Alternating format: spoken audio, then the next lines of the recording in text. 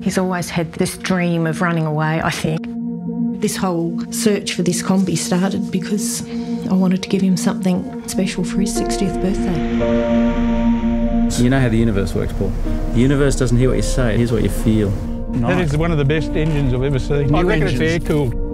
I, I think it's a case of now or never. Power steering, power steering.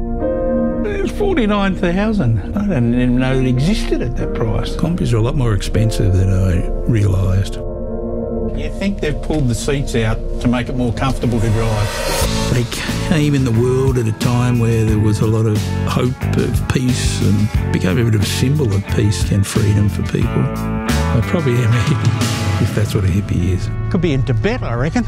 Hey, Bob! Oh, g'day, Paul. How you going, mate? Confronted with your own mortality, it's surprising how that freshens up a spiritual search. Brings on a real sense of urgency to make the most of the time you've got. Without a great uh, drama, we won't turn our minds to the big questions. I want to go to the 12 apostles. Everyone knows the Great Ocean Road and its beauty.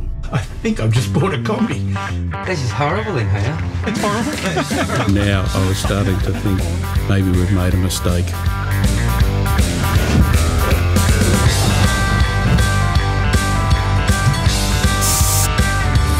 you know, I didn't get a Kombi just to get it and not do a trip. In, in having a dream, what makes the dream worth having is the risks you take. If there's no risk, then there's no dream.